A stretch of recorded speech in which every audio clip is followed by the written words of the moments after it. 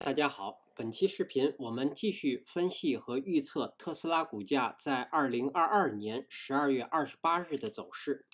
首先，我们先来回顾一下特斯拉股价在十二月二十七日走势的基本信息。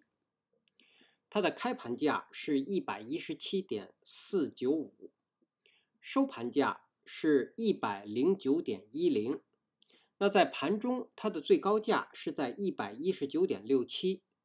最低价是到达了一百零八点七六，那在盘中它的最高值与最低值之间的幅值是达到了十一个点。我们会看到它的收盘价依然是收在了各条均线值的下方。量当日的成交量是二点零八六亿股，是前一个交易日的一点二五倍量增。K D 值开口不变。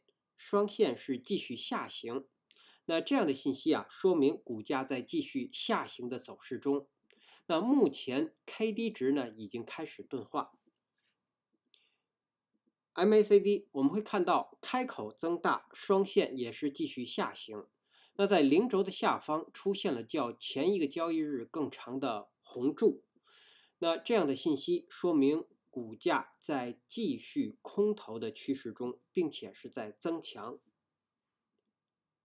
好，我们来看 K 线信息，在十二月二十七日生成的这根 K 线叫做含上影线的长红 K 线，那它是一根下跌的 K 线，那它的位置呢是在股价下跌的行进中，当日是一个跳空的低开盘。然后开盘之后，股价是一路下杀，最后收盘价在最低价附近，那几乎是在当日是空头占主导，那说明呢，日后股价会有继续下跌的走势。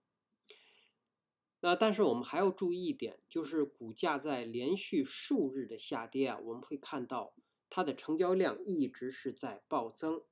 那我们要小心，日后有可能会出现反弹。好，那接下来我们来分析一下后续股价的走势。我们调出辅助线。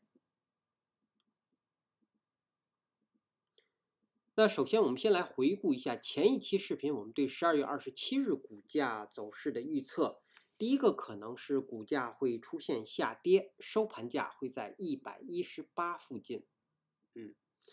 那另外一个可能呢，股价会出现止跌，收盘价在一百二十五。实际在十二月二十七日收盘价是在一百零九点一零，我们会看到出现了大幅的下跌，并且呢，我们会看到收盘价是跌破了一百一十，呃，这条水平线。那一百一十呢，是我们。呃，前期视频定义的它的下行的一个目标，那也就是跌破了这样一个呃重要支撑。那对，我们可以看一下，一百一十是二零二零年九月八日的最低这根 K 线，我们来看一下。好，在这个地方，也就是跌破了这样的一个啊点位。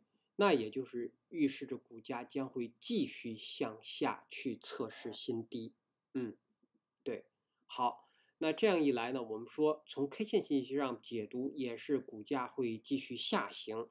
那接下来我们来看看股价的下行。那对于十二月二十八日股价继续下行，它的目标就是第一个目标就是前低一百零八点七六，我们调整一下这个水平线。好，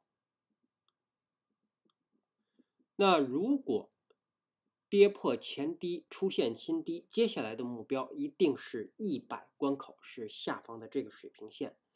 那我们说，如果这个一百关口再被跌破呢？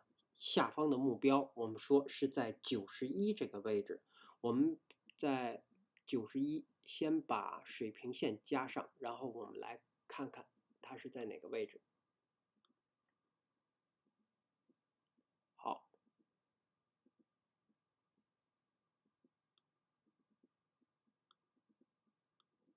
九十一这个位置是二零二零年十八月一日的最低，我们来看看。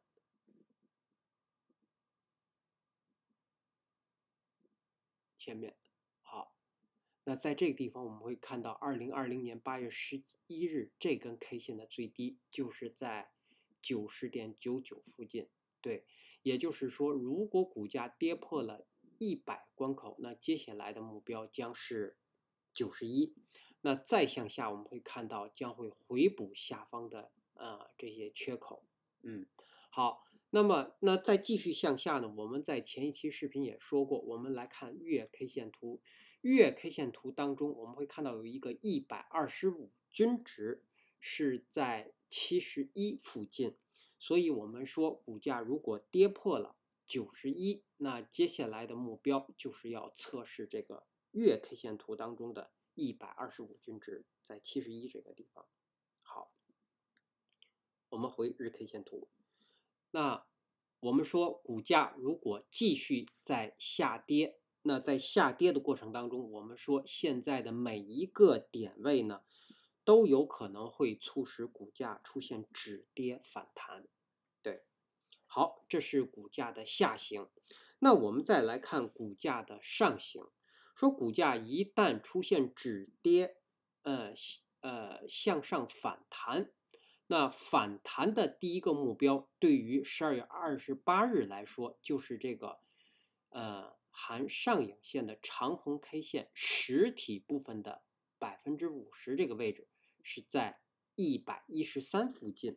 嗯，它是这根 K 线的百分之五十的成本线。我们在这个地方，呃，加一条线，我们调整一下线，我们把这条线移到一百一十三。好这是股价如果出现反弹的第一个目标，对，就是要站上一百一十三。那如果反弹站上一百一十三呢？我们说再向上就是当日新生成的五日均线值，我们测算是在一百一十八到一百一十九附近。那同样我们会看到这个一上方呢，前高是在一百一十九附近。然后加上上方的这个缺口是一百一十九到一百二十一，那我们说，其实第二个目标就是从一百一十八，嗯，一直到上方的一百二十一，嗯，这个区域将是股价出现反弹的，呃，要反弹要站上的第二个目标。同时，我们也会看到，这是呃。也是非常强的支撑，呃，非常强的压力，所以我们在这儿，呃，我们在一百一十八这个地方加一条线，或者我们加在上限一百二十一这个地方，我们一会儿来解释一下。好，然后呢，我们再把。上方的这个水平线都去除，好，这样一来，我们可以看到啊，股价一旦出现反弹，我们说从一百一十三开始，一直到上方的一百二十一啊，我们说在这个区域都是非常强的压力，那股价呢，很容易是在这个区域内遇压而出现转折向下，然后继续下行，对，好。那通过这样的分析，我们可以看到上方的压力现在是非常重的。嗯，好，那接下来我们来总结一下，对于十二月二十八日来说，下方我们要关注前低一百零八点七六，那跌破这个前低就会有新低出现，那股价一定会是继续下行的走势。那上方我们要关注一百一十三这个水平线，我们说股价只有站上它才能够继续反弹，否则会遇压而继续转折向下。好，那这是我们对股价后续走势的分析。那接下来我们来看看，嗯，压力位和支撑位。那十二月二十八日开盘之后，首先到来的压力位就是上方的，我们说是一百一十三。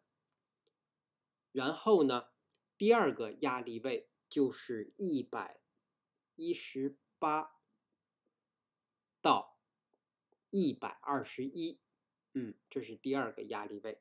好。第三个压力位就是上方当日新生成的十日均线值是在一百三十四附近，当然这个距离是呃非常远的，嗯，好，那这是上方的三个压力，我们再来看下方的支撑，首先到来支撑是前低一百零八点七六，第二个支撑是一百关口。那第三个支撑呢？我们说就是下方的九十一这个水平线，嗯，当然下方还有一个七十二，也就是月 K 线图当中的一百二十五均值。好，那基于以上这些信息的解读和分析呢，我们给出十二月二十八日股价走势的预测。我们预测的两个可能都是，呃，股都是说股价会继续下行。